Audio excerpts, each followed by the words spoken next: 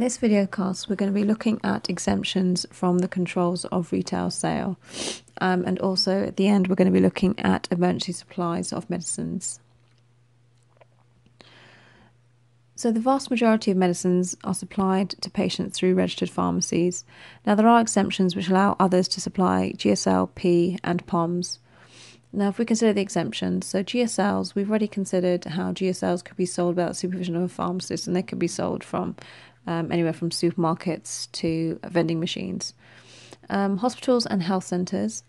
Now, when we were looking at retail pharmacy businesses, I mentioned that the activities of a hospital relating to the supply of medicines to patients under their care are exempt from the requirement for that premises to be registered as a pharmacy. We'll look a little bit more detail um, at hospitals and a few other groups that have exemptions. So, hospitals and health centres, they don't necessarily have to be registered pharmacies, although many hospitals do but clearly they don't have to function. They could, sorry, they could not function if they can't supply or administer medications to patients. So these centres and hospitals can supply medicines to patients provided it's in the course of business of a hospital.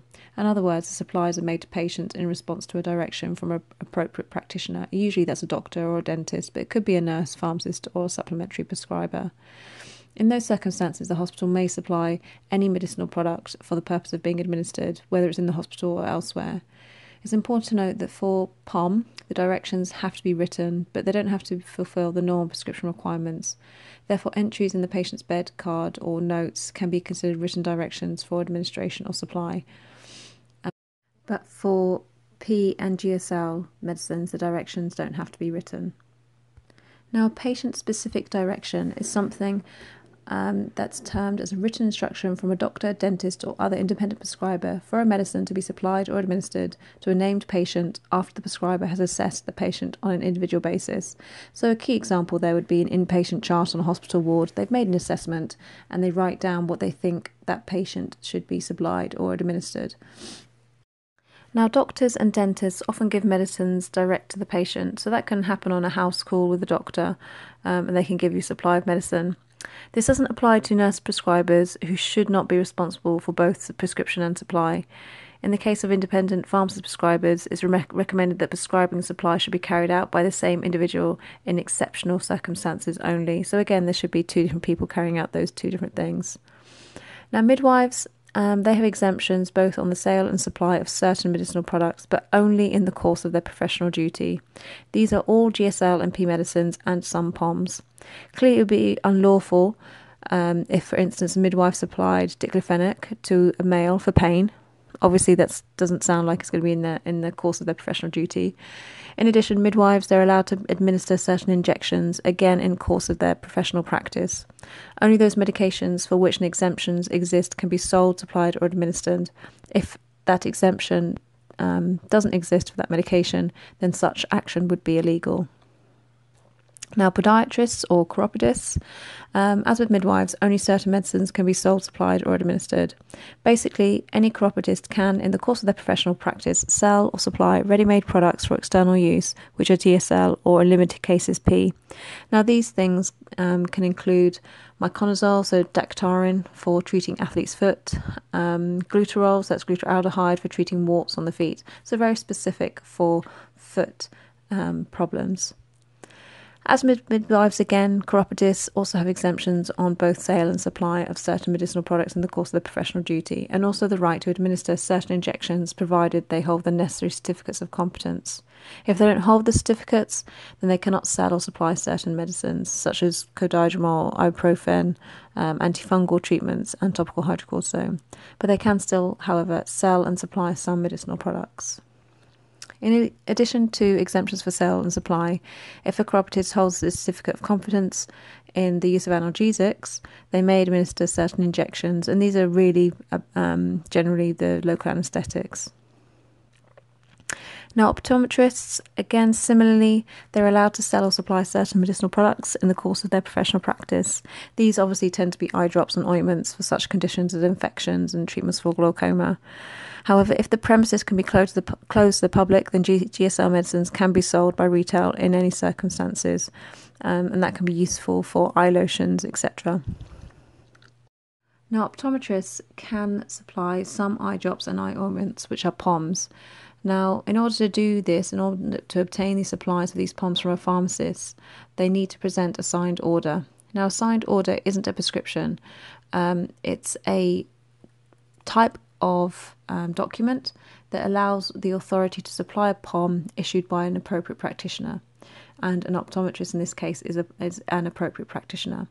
Now, the pharmacist must be satisfied that the product is labelled accordingly and a PIL is provided and an entry is made in the POM register. In other words, a pharmacist would treat it like a prescription even though it isn't a prescription. Further details on the um, capabilities for sell and supply of POMs is available in the MEP. So, if we consider ambulance paramedics, they would generally have a certificate of proficiency in ambulance paramedic skills and they can administer certain parenteral POMs for the immediate and necessary treatment of sick or injured persons. Other categories of people who can be exempt for um, the sale and supply of medicines, we have things such as drug treatment services, shipping personnel, offshore installations, um, public analysts, aircraft commanders, first aid organisations, um, and the exhaustive list is is contained within the MEP, and some of them are also found on the MHRA website and also in Dale and Appleby. Now, another type of supply we're going to consider is wholesale dealing. Now, this is the process by which uh, many of the exempt groups and individuals obtain supplies of medicines from pharmacies. So, in order to sell, supply, administer medicines um, from these people or organisations, they have to obtain them. And the way of obtaining them is through a wholesale transaction. Now, the sale is um, being done to a person who buys a substance in order to sell it, supply it, or cause it to be administered in the course of their business. Um, wholesale deals, dealing also um, requires a license, so the person actually carrying out the wholesale dealing um, will actually require a license wholesaling by pharmacists. So the MHRA does allow a limited amount of non-commercial wholesaling by pharmacies. So pharmacies can trade small amounts of medicines to UK healthcare providers for patient supply or treatment. They can also supply to other pharmacies, but the quantities must be small and they must be only on an occasional basis. And it can't also um, be done so for, for profit. Now, sales of sorry, sales of P and POM medicines by wholesale dealing can only take place if the purchaser is authorized to sell or supply the goods or administer them in the course of their business. So, really, it's about those practitioners or those people who are exempt from the sale and supply. So, who can be supplied? So, we've got the practitioners, as I've said, doctors, dentists, vets, any person lawfully conducting a retail pharmacy business, um, authorities or persons carrying on the business of a hospital or a health centre, any person who may sell or supply by retail um, by virtue of an exemption, for example, midwives and the other healthcare professionals we considered, but only in respect of medicinal products covered in their exemption.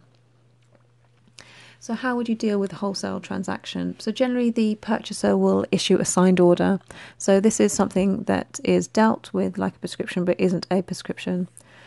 So, um, the law doesn't actually set out what information should be c- contained uh, within a signed order, but the RPS has re- recommended the minimum information that is on there. And that includes the name, quantity, and where necessary, the form and strength of the medication, the name and address, trade, business, or profession of the person requesting the medicine and the person for which it is required, signed and dated by the person requesting the POM.